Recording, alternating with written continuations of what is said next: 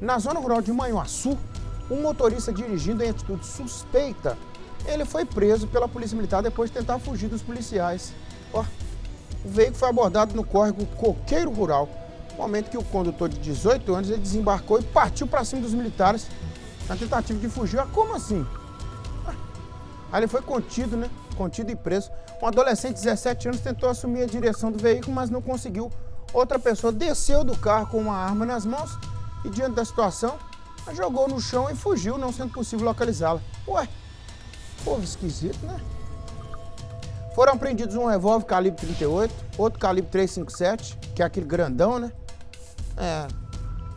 Nove munições e uma espingarda calibre 12. A espingarda é aquela bitelona lá, né?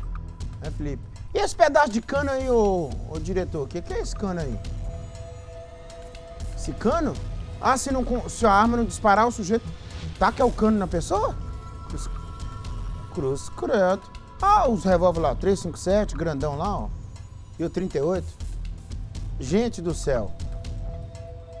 E esse povo tava indo fazer o quê, né, gente? Aí é que fica a pergunta, né? Esse povo tá indo fazer o quê, né? É.